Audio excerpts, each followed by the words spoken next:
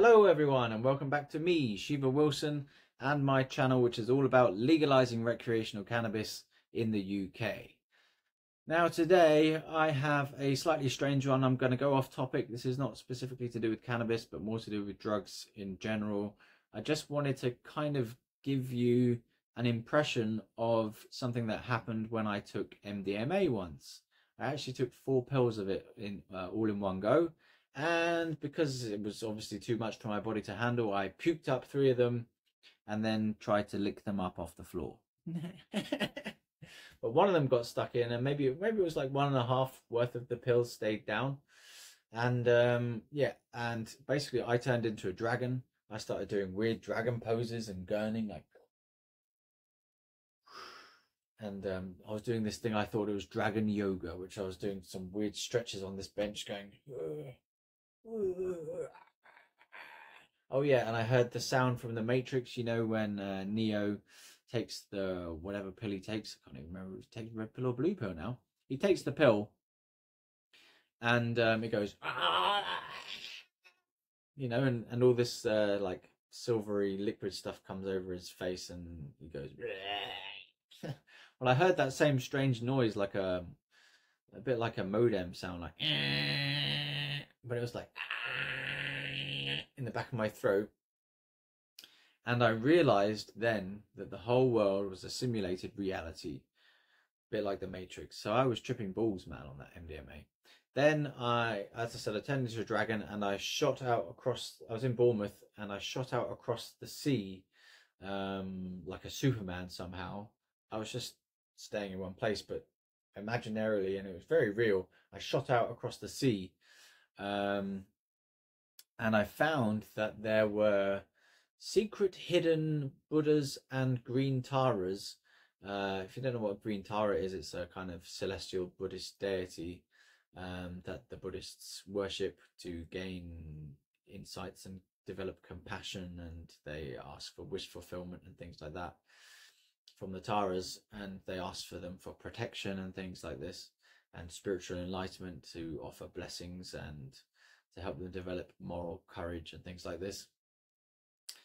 Anyway, I saw these green Taras and Buddhas, then they were out there above the ocean, the sea, sorry, um, controlling reality from behind the scenes. Yeah. So that was interesting. So anyway, I've got ChatGPT to create a similar kind of vibe, um, just describing the whole thing from ChatGPT's creative intelligence perspective. So here we go. This is a bit of a story about an ecstasy dragon. right. The pill was as smooth and cool as a polished pebble, a vibrant emerald green that seemed to thrum with an unseen energy. Elias, a scholar of ancient texts, had found it tucked within a dusty tome a cryptic inscription beside it promising a transformative experience. Hesitation gnawed at him, but curiosity and a desperate yearning for something more won out. He swallowed the pill. His world dissolved in a kaleidoscope of colours, a dizzying rush of sensations. When it subsided, Elias was no longer human. He was a magnificent dragon, scales shimmering, gold and emerald under the setting sun.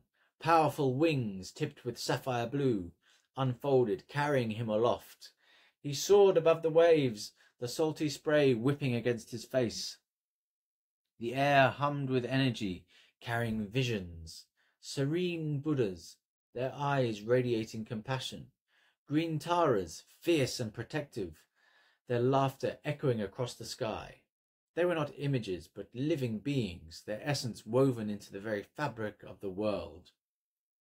He saw them in the swirling clouds, in the crashing waves, in the flight of a lone seabird. The dragon, once Elias, felt a sense of belonging he had never known. His human anxieties were gone, replaced by an awe-inspiring understanding. He was not just a creature, he was part of the grand tapestry of his existence, connected to every living being, every grain of sand. The visions spoke of ancient truths, of interconnectedness, of the delicate balance of life and death. They spoke of a wisdom beyond words, a knowing that resided in the depths of his being. He flew, propelled by a newfound purpose, a yearning to share the wisdom he had gleaned. As the sun dipped below the horizon, painting the sky in hues of orange and purple, he knew his journey had just begun. The dragon, once Elias, was now something more. He was a messenger, a conduit for the ancient wisdom, soaring across the sky, spreading the message of interconnectedness, of compassion, of the profound beauty of existence. There you go, that's a trip report from ChatGPT who ate a pill and got high and turned into a dragon, just like me. Anyway, uh, I've been Shiva Wilson. We've been trying to legalize recreational cannabis in the UK. If you've not subscribed yet, subscribe for more, and I'll see you in the next one. Good night.